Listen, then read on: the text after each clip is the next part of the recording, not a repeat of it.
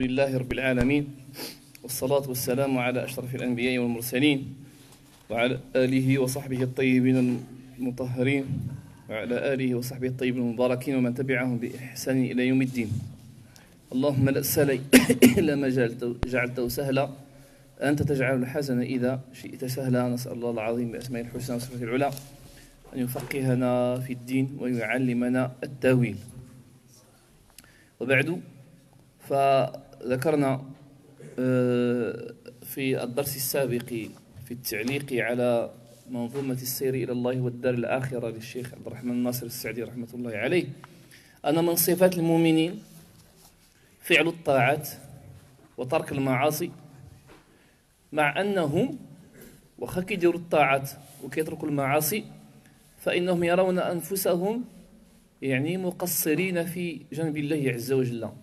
فعل الفرائض والنوافل دأبهم مع رؤية التقصير والنقصان. يعمل يعني الإنسان يقول أنه راه مقام الله تعالى أنه راه كامل في إيمانه وفي إسلامه.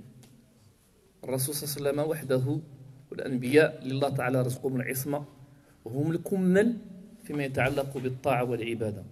أما نحن فكما قال صلى الله عليه وسلم كل بني آدم خطاء وخير الخطائين التوابون. إذا كل ما يتعلق بماذا؟ بكونهم يجتهدون في الطاعات وترك المعاصي والذنوب. ثم ذكرنا ما يتعلق بالآثار السيئة للذنوب. آثارها على الفرد وعلى المجتمع على الإنسان على الجسد وعلى مجموعة من الأمور. ينتقل رحمه الله الإمام السعدي إلى منازل عظيمة أخرى وهي منازل الصبر والشكر والرضا. الصبر والشكر والرضا. هذه حتى هي من الأمور والمقامات اللي مزيان المسلم والمؤمن يجتهد في تحصيلها. يقول رحمه الله صبر النفوس على المكاره كلها شوقا إلى ما فيه من إحسان. نزلوا بمنزلة الرضا فهموا بها. قد أصبحوا في جنة وأمان. شكروا الذي أولى الخلائق فضله بالقلب والأقوال والأركان. إذا نذكر هنا رحمة الله عليه ثلاثة ديال المنازل. اللي هي منزلة الشكر والصبر والرضا. الشكر والصبر والرضا. علاش ذكرها مباشرة من بعد ما ذكر فعل الطاعات وترك المعاصي؟ ذكرنا أن المسلم المؤمن هو اللي كيجتهد في يدير أحكام الله تعالى. هذا هو المسلم هو اللي كيطبق داك الشيء اللي أمر الله تبارك وتعالى والنبي صلى الله عليه وسلم. بطبيعة الحال اتقوا الله ما استطعتم اسمعوا وأطيعوا. فالمناسبة ديال هذه المنازل الثلاث الصبر والشكر والرضا بالأحكام الشرعية أن الناس آه، أمام الأحكام الشرعية كينقسموا ثلاثة ديال ثلاثة ديال الحالات. فمنهم صابر ومنهم راض ومنهم شاكر. كان اللي عنده الصبر وكان اللي عنده الشكر وكان اللي عنده الرضا. وهذه المنازل الثلاث كتعلق بالأحكام الشرعية وكتعلق كذلك بأحكام الله الكونية لأن هذا الكون كاين أحكام شرعية. أشنو الأحكام الشرعية؟ صلي زكي الحوايج اللي الله قال لنا ديروا اشنو الأحكام الكونية؟ شي حاجة اللي أنت ما كتصرفش فيها. هي أفعال الله تعالى اللي في هذا الكون. شي حاجة اللي أنت ما ما عندكش فيها حتى شي تصرف. أه؟ أقدار الله عز وجل. واضح؟ أفعال الله تبارك وتعالى في هذا الكون اللي إحنا ما عندناش فيها حتى شي دخل. هي إرادة الله تبارك وتعالى ومشيئته سبحانه وتعالى. سبق رحمه الله بالصبر. قال لك صبروا النفوس على المكاره كلها الصبر. علاش سبق بمنزلة الصبر؟ اولا لأن الصبر واجب. الصبر واجب على الإنسان. ماشي مستحب هو راه واجب الصبر. ثانيا هو حال أغلب الناس إلا من رحم الله. كثير من الناس بزم إنه يصبر ما عندوش شي حل آخر إلا الصبر. الصبر في اللغة هو المنع والحبس. حبست الشيء أو صبرت الشيء أي حبسته ومنعته هذا في اللغة العربية. أما في الاصطلاح فكيكون ديما هناك واحد العلاقة ما بين الحقيقة اللغوية والحقيقة الشرعية. يقول ابن القيم رحمة الله عليه في تعريفه للصبر قال هو حبس النفس عن الجزع والتسخط وحبس اللسان عن الشكوى وحبس الجوارح عن التشويش والمعاصي والذنوب. هذا هو الصبر. الانسان يحبس اللسان ديالو من الشكوى كيشكي ديما أه؟ ويحبس الإنسان نفسه من الجزع والتسخط. الإنسان كيجزع بمعنى تيفشل بمعنى الإنسان كيفقد الثقة في الله عز وجل بمعنى تي يعني يش يعني شنو هو الجزع؟ بمعنى الإنسان لا لا يقوى ولا يصبر ويفشل ويسقط أمام الاختبار. فاش كيفشل في الاختبار ديالو؟ أما الجوارح عن المعاصي أي أن الإنسان يصبر عن الذنوب والمعاصي فلا يقترفها الدليل على هذه المنزلة ديال الصبر قول الله تبارك وتعالى يا أيها الذين آمنوا استعينوا بالصبر والصلاة إن الله مع الصابرين. آية أخرى وإنها كبيرة إلا على الخاشعين وإنها لعظيمة إلا على أهل الخشوع وأهل الإيمان. روى الإمام مسلم حديث أبي مالك الحادث بن عاصم الأشعري قال صلى الله عليه وسلم واحد الحديث طويل. قال والصلاة نور والصدقة برهان والصبر ضياء. الصلاة كتنور ديك الطريق. والصدقة برهان يعني دليل على الإيمان ديالك. والصبر ضياء. أه؟ يضيء لك طريقك إلى الله. والقرآن حجة لك أو عليك. والقرآن حجة لك أو عليك. إذا هذا هو الصبر. الصبر كاين ثلاثة. كاين اللي كيصبر على الطاعة صبر على الطاعة. الإنسان باش يمشي يصوم. أشنو خصو؟ خصو يصبر على الجوع والعطش ويصبر كذلك أه؟ عن قول السوء ويصبر عن الاخلاق السيئة. هذاك الصبر إذا ما صبرتيش ما, تقدرش تصوم. ماشي فقط تصبر على الجوع والعطش هذاك راه كاع كثير الناس لكن خصك تصبر حتى على اللسان ديالك ما يقولش الكلام السيء. ليس الصوم لمن؟ يعني آه، امتنع عن الطعام والشراب ولكن امتنع عن الحرام. ومن الحرام إساءة الكلام وسوء الظن وغيرها من الأمور. الصبر على الطاعة. باش تمشي للحج إلا ما صبرتيش ما تقدرش تحج. تصبر بعد على الفلوس لأن ماشي غير جو سافر للحج. خصك تخلص مالها أه؟ ما هي وما لونها كما يقال.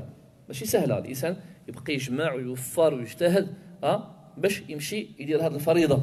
إذا كتصبر على على, على, المال لأن المال خصك تخرجه. هذه طاعة. هذاك طاعات من الطاعات اللي كنستثمروا فيها المال. وباش تمشي دير المناسك خصك الصبر. خصك واحد التعب شديد باش دير الطواف باش دير السعي باش يعني داك الزحام باش يعني تمشي للوقوف في عرفة وداك ديك المناسك كلها. يعني ما شاء الله تحتاج من الانسان يصبر. ماشي غير يصبر على المجهود.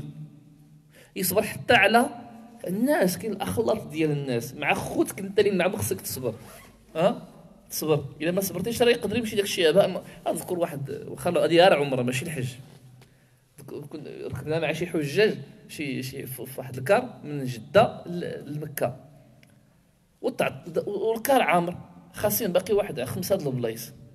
وداك المسير مشى اتص باش يجيب واحد السياره كبيرة تهز الناس. بابا واحد جوج قالوا له لا يقلب كاع هاد العمرة. على ديك خمسة دقائق اللي غادي تجي فيها الطوموبيل من سميت قال لك اودي لا يرد كاع وتيتقلقوا ياك لاباس أودي. مازال قال بداو. باقي راه لابسين الإحرام ديالهم. كيصوت فيهم البرد ما صبروش بداو تيقولوا شي كلام فين هو إحنا كنقولوا شنو هو الجزع والتسخط والتشكي. واضح؟ فكيفاش إلا دخلتي في الزحام وكيفاش إلا يعني مشات يعني يقدر يوقع أي حاجة تضيع لك شي تضيع لك شي وراق. الله أعلم.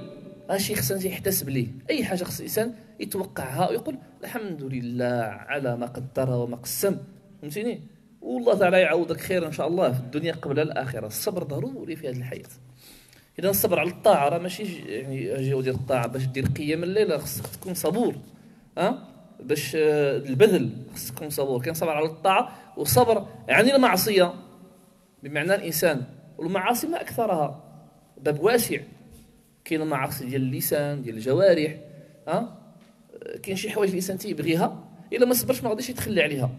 وديك الحوايج الله حرمها سبحانه وتعالى. من بين الأمور مثلا الكذب. ولا الغيبة ولا النميمة كاين اللي كيتشهى انه يتكلم في أعراض الناس. اذا ما صبرتيش اللسان ديالك عن هذا فلست من أهل الصبر. الصبر عن المعصية عن الحرام عن الشبهات والشهوات. ثالثا صبر على وهذا هو المهم مهم جدا. صبر على أقدار الله. إلا قدر الله عليك شي حاجة أش كتقول؟ الحمد لله ها؟ على اخذه وعلى عطائه كتقول آه اللهم أجرني في مصيبتي واخلف لي خيرا منها. كتقول إنا لله. أش قال تعالى في سورة البقرة؟